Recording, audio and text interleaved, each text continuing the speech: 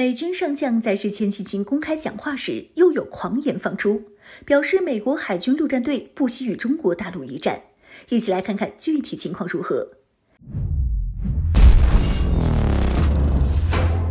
Hello，各位老铁们，大家好，欢迎收看本期迷彩虎，我是虎妞。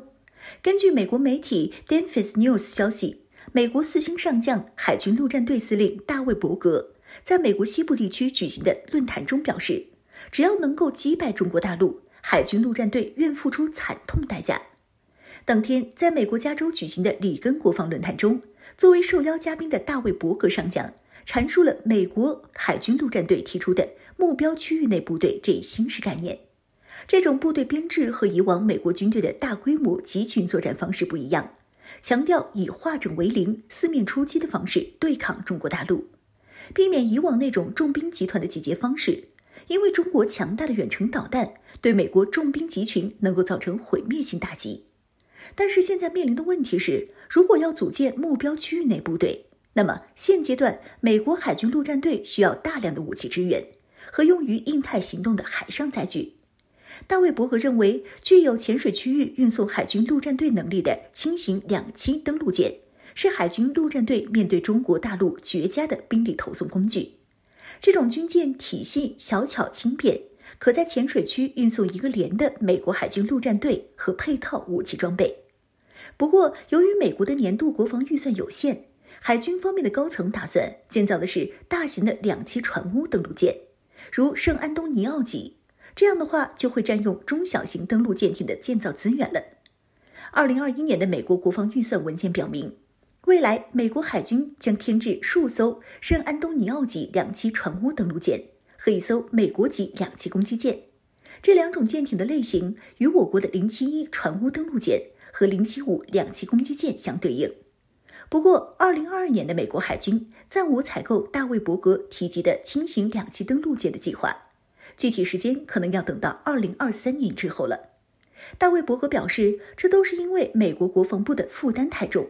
现阶段军费开支是大头，缺少充足的军费是问题的关键。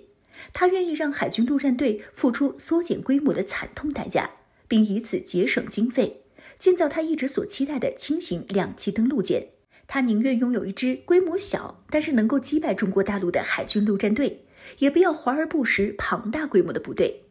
虎妞认为，大卫·伯格的新式战法，如果仅仅是能够凭借一种小型的登陆舰，就能够轻而易举击败中国的话，那么这种想法实在是太幼稚了。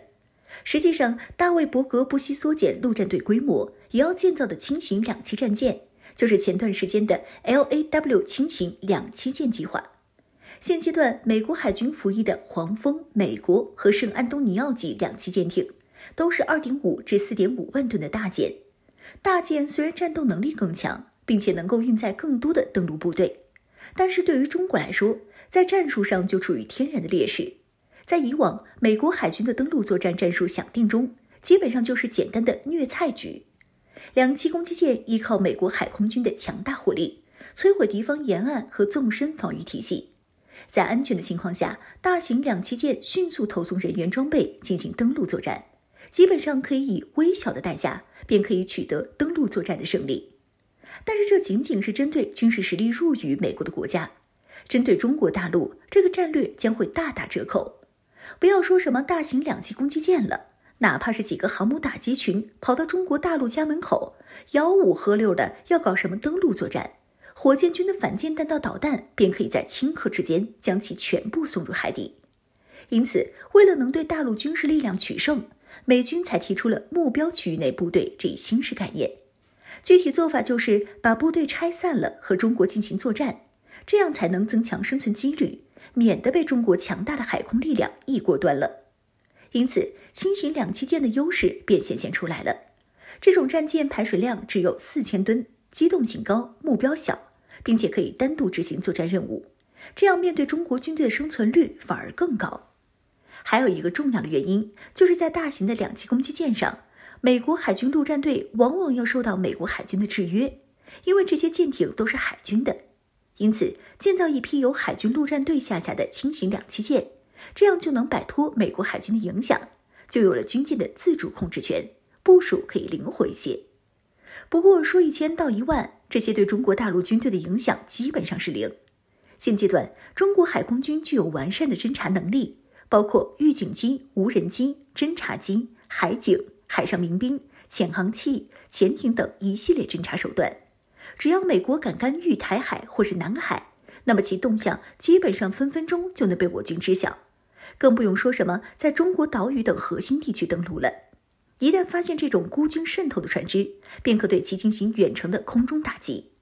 所以，虎妞想给大家强调的是。别看美军上将这牛皮吹得震天响，现阶段中美在亚太的军事实力对比已发生了根本性的改变。美国无论使出什么招数，在中国家门口都不好使，最后还可能导致全军覆没。美国胆敢动武的唯一下场，就只能是翻车。